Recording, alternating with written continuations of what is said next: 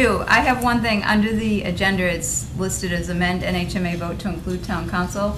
Could I, I want to follow up on some things. I've actually contacted NHMA, and I don't think that we have to change anything that we've already agreed to as a board, because their policy, I know Mark was concerned about if anyone asked any legal type questions to NHMA, but their policy as it exists now, I'm planning to talk to Judy Silva tomorrow, but I talked to her secretary today, will be that if any of the people that will be accessing NHMA, which are the two chairmans and vice chairmans of both the Board of Selectmen and the Budget Committee, were to ask or email a legal question, that they would, out of courtesy, send, make sure that both you and Fred were notified when the response Oh. came back. So it's already a part of the NHMA process. Oh, good. So I So we just, don't need that? I think It's we can good. just leave it as it stands.